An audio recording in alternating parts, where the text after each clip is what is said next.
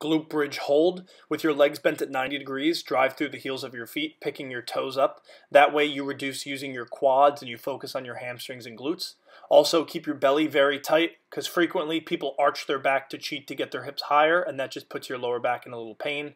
Great exercise for anyone wanting to work their posterior out who possibly has limitations at any age.